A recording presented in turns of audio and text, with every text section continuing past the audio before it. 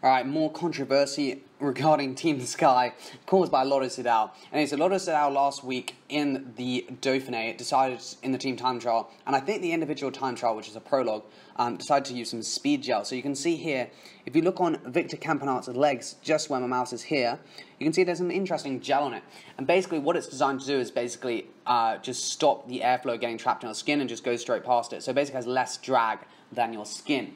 Now, the UCI has lots of stupid rules, and one of them is that you can't, um, you are not allowed to have anything that like increases your speed, which is non-essential, as they say. So you can see here that he, the head of Lotto Soudal, is querying the UCI's decision to ban it, uh, and he's getting angry at Team Sky. Um, so basically, what happens is it leaves deposits of small washing powders, um, washing powder balls on the rider's legs, um, which is the dimple effect which Team Sky used on their uh, skin suits, which were made famous in the Tour de France prologue. Um, he says here that he was uh, Marc Sergeant, who's the head of Lotto Soudal, that he received a call from Jean Christophe Péraud, who used to race, who came second in the Tour de France 2014. Uh, he told me that it was not allowed, and they're going to have a look in the matters. And then he just said, "Well, if I'm not allowed my little like go faster gel, how come Team Sky allowed their go faster like, skin suits? Because it's the same thing. You don't have to have dimples on a skin suit. Like they're only there to make it faster. Um, and the FDJ coach, Fred Grappe, was pretty angry as well. And everyone was sort of saying, oh, it's bad. But so we can see here, uh, everyone was saying it's bad and that you know, Team Sky shouldn't be allowed it um, because it's just increasing the speed and you don't need it. So, and I mean, it was just really weird. And Team Sky's defense and the UCI's defense was that it's essential to the fabric. Like, if they didn't have dimples, the skin suit wouldn't like work. But it's like, yeah, but you could just have something that doesn't have like dimples on it. It was very odd. So you can see here UCI regulations. It's prohibited to wear clothing or skin suits to which non-essential elements have been added with a view to improving their aerodynamic properties, such as, for example, wings under the arms or an extension between the helmet and the jersey or skin suit.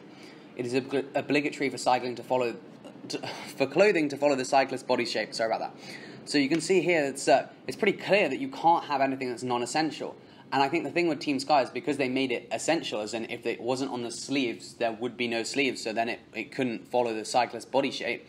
They somehow got away with it. Um, but Lotto Soudal don't seem very happy about this um, at all, which is not really surprising because they probably thought they're on to a winner, and now it's just been banned. But it's like, I mean, he says like, is mud banned now?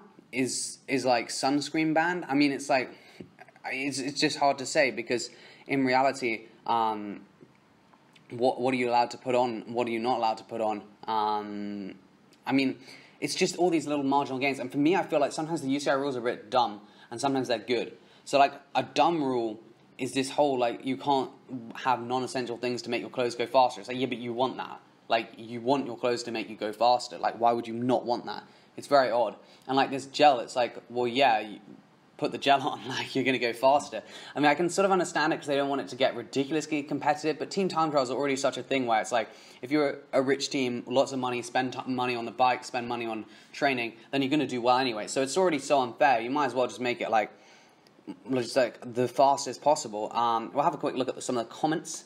Um, just people not happy. Um, they use fairings on their Bolide TT bikes.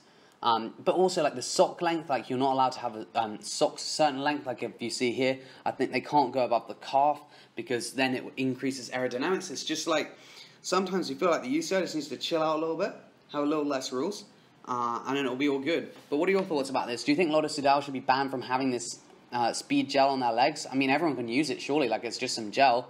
Um, so for me, I feel like you need innovations like this, like the speed gel. It's a good good idea. Um, and I hope the UCI changes their rules and we'll see everyone wearing, wearing this gel. Uh, and then I'll be able to go faster. Will they wear, wear it on road races? That's the question. Would they like go back to the car, 5k to go on like a sprint or something, put some speed gel on, and maybe that would make the difference? Uh, I don't know. That would be pretty interesting. You see people with like domestiques with little gel hanging, handing it out to the team leaders and they're like gelling up their legs. I don't really know if that would happen or not. That'd be absolutely hilarious if it did. You saw these people little bottles at the back. Oh, God. Um, Maybe the UCI could ban it in road races and allow it in time trials. I don't know. But I feel like just banning anything just because it's new is just a stupid step forward and not a very clever thing to do. Like, you want innovation, you want people to, like, design things in cycling that's going to make you go faster. If you have no innovation, then no pro- companies are going to really want to invest in there um, because they're like, oh, well, we can't really change the rules or anything.